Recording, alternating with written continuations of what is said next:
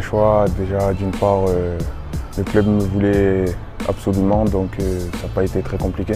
La première ligue, c'est un championnat très relevé.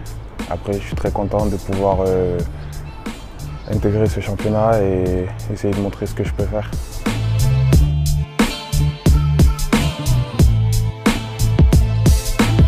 Ça fait du changement de passer de Toulouse à Londres. Mais après, quand on est footballeur, on est, on est préparé à devoir euh, partir. Et c'est quelque chose qui ne me fait pas peur. J'ai gravi les échelons les uns après les autres et jusqu'à me, retrouver ici maintenant et, j'en suis fier.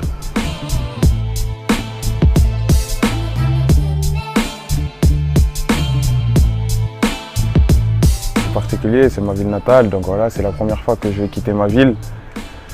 J'ai que de bons souvenirs ici, j'ai passé de, de, merveilleux moments et, et, je suis content de, de, de ce que j'ai pu faire euh, au club. Je suis très content pour, pour, pour les coachs qui m'ont formé, tous les formateurs que j'ai eus, que ce soit M. Garrigue, euh, M. Lauré ou les personnes du centre comme M. Général. Je suis aussi très très content pour eux parce que c'est leur euh, travail qui est, qui est récompensé aussi.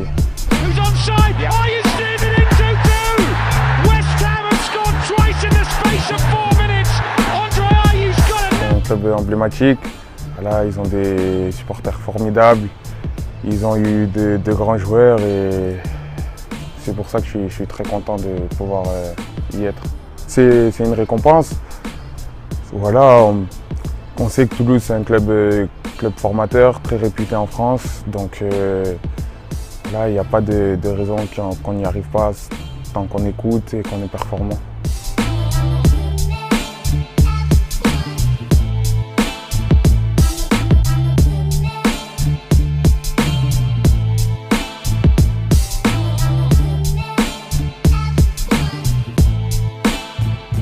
La plupart, on était ensemble au centre de formation, donc on a créé des, affinités depuis très longtemps.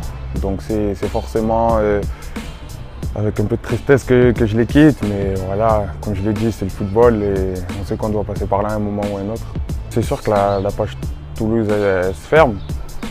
Après, je vais en ouvrir un autre et j'espère qu'il sera aussi bien que celui-là.